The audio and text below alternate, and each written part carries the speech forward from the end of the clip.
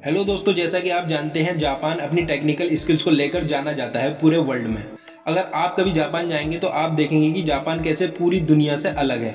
आइए हम बताते हैं जापान के कुछ मज़ेदार facts number ten super umbrellas जब हम बारिश के मौसम में बाहर निकलते हैं तो हम लोग छाता लेकर निकलते हैं बट फिर भी लोग ज़्यादातर भीग ही जाते हैं, क्योंकि ये बारिश से आपको पूरी तरह नहीं बचा पाता। साइड से तो गीले हो ही जाते हैं, लेकिन जापानी दुनिया से अलग कुछ ऐसे छाता यूज़ करते हैं, जो आपको बारिश से पूरी तरह से महफूज रखते हैं। Number nine drink can drink can with brailles braille लिपि के बारे में तो आप ज़रूर जानते होंगे। इस लिखाई का इस्तेमाल वो लोग करते हैं जो देख नहीं सकते। अगर कोई अंधा व्यक्ति ड्रिंक खरीदना चाहे तो वो कैसे पता करेगा कि ये कौन सी ड्रिंक है? जापान में हर टीन में ब्रेल लिपि का यूज़ किया जाता है ताकि अंधे व्यक्ति को भी आसानी से ड्रिंक का पता चल जाए।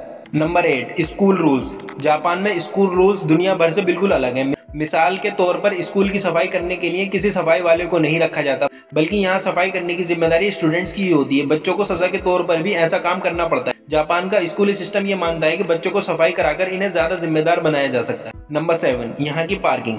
जापान में कार्स की संख्या है ज़्यादा और पार्किंग की जगह है कम। तो जापानियों ने बहुत सारी जगह की बचत कर कर एक नई टेक्नोलॉजी से बनाया यूनिक पार्किंग मॉडल तो देखिए, ये है जापान का यूनिक पार्किंग मॉडल ये जापान में मौजूद टेक्नोलॉजी की बेहतरीन मिसाल। Number six microwave toys microwave तो आपने भी ज़रूर देखा होगा और यूज़ किया होगा बट क्या आपने कभी माइक्रोवेव टॉयज के बारे में सुना है? सर्दियों में बच्चों को ठंड से बचाने के लिए जापानियों ने इस तरह के यूनिक खिलौने बनाए। आप एक मिनट तक इन खिलौनों को माइक्रोवेव में रखकर गर्म कर सकते हैं। इन टॉयज को लेने से खुद को गर्म रखा जा सकता है। इन टॉयज में एक स्पेशल किस्म की घास का प्रयोग किया जाता है जिसकी खुशबू भी इंसान के लिए फ़ायदेमंद होती है। नंबर फाइव नोकीले दांतों का रिवाज। कोई वीडियो गेम हो या फिर कोई कार्टून यहाँ याबों का बहुत ज़्यादा चलन है। जापान में नकली कैप लगाकर अपने दांतों को नोकीला बनाने का बहुत ज़्यादा ट्रेंड है। दांतों को नोकीला बनाना जापान में जवानी का सिंबल माना जाता है। यह ट्रेंड यहाँ पर बहुत मशहूर है। यहाँ हर कोई नकली कैप लगाकर अपने दांतों को नोकीला बनाता है। Number four vending machines vending machines के ज़रिए आप कोइन डालकर अपनी पसंद की चीज़ों को निकाल लेते हैं। ज़्यादातर देशों में वेंडिंग मशीन से वाटर बोतल या कॉकटेल ही निकलती है। बट जापान में वेंडिंग मशीन से सब कुछ निकलता है। यहाँ बहुत सारी वेंडिंग मशीन है। और इस मामले में जापान की बराबरी कोई देश नहीं कर पाएगा। जापान में इस समय साठ लाख से ज़्यादा वेंडिंग मशीन यूज़ हो रही है, जो आपको जगह जगह पर देखने को मिल जाएँगी। यहाँ पर वेंडिंग मशीन बहुत सारे अजीब कामों के लिए इस्तेमाल की जाती है, जैसे सेल्फी लेना, मौसम का हाल जानना, और ये मशीन आपकी एज भी बता सकती है। Number three, chin rests. अगर आप मेट्रोज में या ट्रेन में खड़े खड़े सफ़र कर कर थक जाते हैं तो आपको जैपनीज का ये तरीका बहुत पसंद आएगा। जैपनीज के पास इस थकान से बचने के लिए बहुत अच्छा जुगाड़ है। अगर आपको यहाँ मेट्रो में बैठने की जगह नहीं मिलती है। तो आप चिन रेस्ट का इस्तेमाल कर सकते हैं और अपनी थकान से कुछ हद तक तो आराम पा ही सकते हैं। चाहे आपको इससे बैठने जैसा आराम तो न मिले बट काफ़ी हद तक रिलीफ मिलेगा। इस तरह की चीज़ें आपको सिर्फ़ जापान में ही मिल सकती है। Number two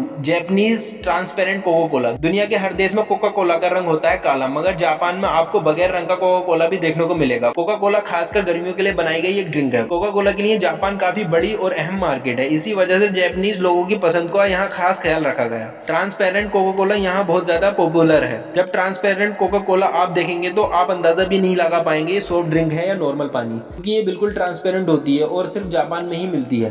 Number one Japanese artistics manhole cover ज़्यादातर देशों में सिवरिंग लाइन के मेन होल कवर एकदम नॉर्मल होते हैं और हमारे देश में भी मेन होल कवर नॉर्मल ही होते हैं। लेकिन जापान के मेन होल्स कवर प्लेन नहीं होते। यहाँ हर कवर पर पेंटिंग या न्यू आइडियाज़ बने होते हैं। सन उन्नीस में जापानी कॉन्स्ट्रक्ट मिनिस्ट्री ने ट्रैक्टर को अपने अपने एरिया में मेन होल कवर को डिज़ाइन करने के लिए परमिशन दी। धीरे ये चलन बढ़ता चला गया। जब आप जापान जाएँगे तो आपको तरह तरह के अलग अलग मेन होल्स कवर दिखाई देंगे। और यहाँ के कॉन्ट्रैक्टर अब इन डिज़ाइन को लेकर एक दूसरे से कॉम्पिटिशन भी कर रहे हैं, जिससे वहाँ के मेन होल्स कवर की ब्यूटी बढ़ रही है। सो so गाइज़ ये थे कुछ जापान के बारे में amazing facts we hope you like the video thanks see you soon